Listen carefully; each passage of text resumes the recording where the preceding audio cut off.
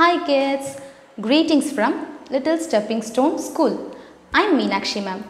Today we learn the shapes through a rhyme. Shall we? Yes. Walking down the street, looking all the shapes, shape, shape, shapes. Walking down the street, looking all the shapes, shape, shape, shapes. What do you see? I saw a triangle, triangle, triangle, triangle.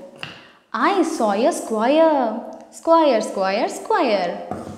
Walking down the street, looking all the shapes, shape, shape, shapes. What do you see?